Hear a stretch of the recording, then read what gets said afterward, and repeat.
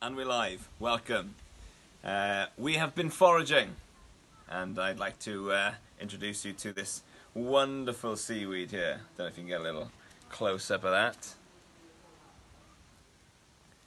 You might be thinking that's just a bit of green plastic bag.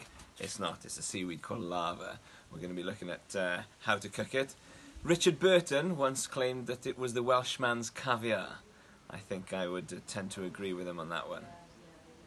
So we were out uh, foraging. It was a little bit of an impromptu gathering, so uh, I had to use the inside pocket of my coat to uh, collect all this laver.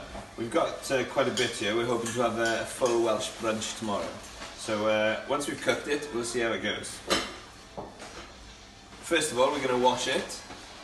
Now, we do need to make sure that uh, we get rid of all the sand, because if you've ever had sand in your sandwiches, you know it's not a pleasant uh, experience. So sand in your breakfast isn't going to be that pleasant experience either. Turns out we actually uh, foraged quite a lot in the end. I've just transferred the laver into the slow cooker pot, ready to go. Uh, what we can see here is a little bit of uh, extra protein.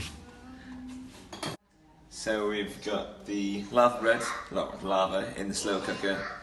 We've got a couple of rocks in there just to kind of keep it mostly submerged. And uh, we're just going to stick it on low till the morning.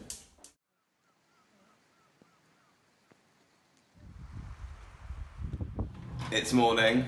This has been cooking for a long time, at least nine plus seven hours, 16 hours, quick maths.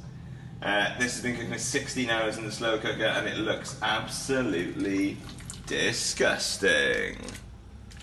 But it's going to taste absolutely delicious. I know it. Now, this is not eaten everywhere in the world. This is uh, mainly eaten in the four corners of the world. West, East Asia, in China, where it's called zicai, in Korea, where it's called gim, and in Japan, where it's known as nori.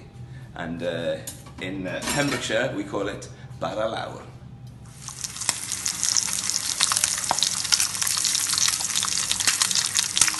Right, so we've uh, fried the bacon, and we're going to uh, use the bacon fat to fry this beautiful stuff.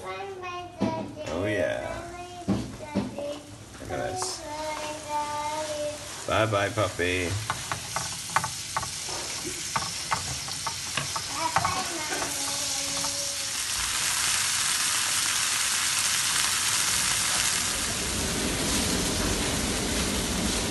Smells beautiful like the lovely blue ocean in Pembrokeshire.